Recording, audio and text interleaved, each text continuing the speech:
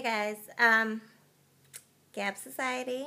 This is Janina Andrina, and I am doing the review of the Aio Wireless event. Um, not part of my weekend review, just like I said, in support of the brand ambassadors that, um, well, one of the brand ambassadors, I'm not going to mention his name. He does not like uh, to be, um, well, I will say, I won't mention his real name, but um, his producer name is Lego, and we've been friends for a really long time. Um, longtime friend, great music producer. He's very talented. Actually, emceed the event and did a lot of other things with the event um, as far as uh, the production of it, the musically, and putting things together.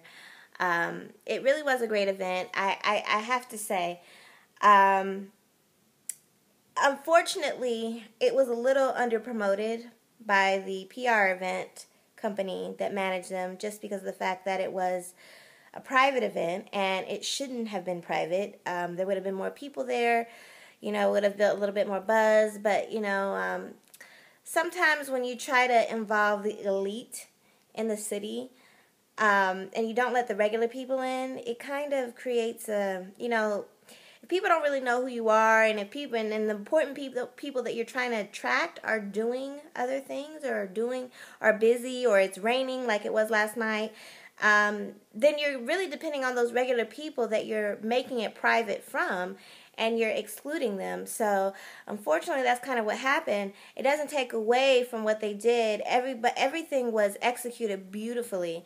Um, opera was beautiful. They lightened it up. Um, if any of you have ever been there, like on a Thursday night where it's um, it's like the hip hop night, R&B hip hop night.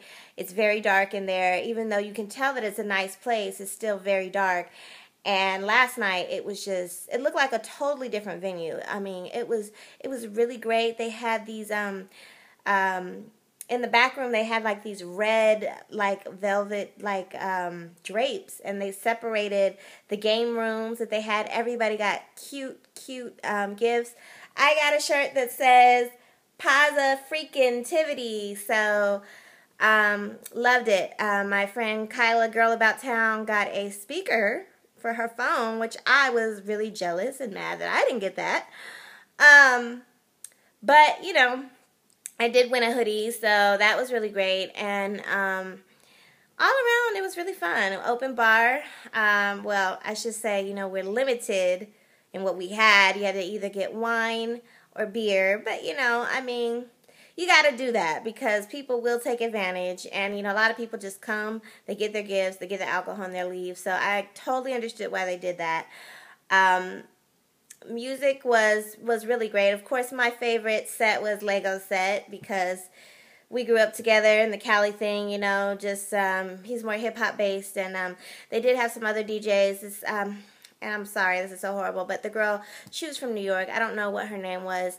Um, they had three different DJs, and, and, and their styles all varied. They showed videos of kind of like clips of what they do and how their work is put together. So that was like a really interesting thing of how um, they manage that.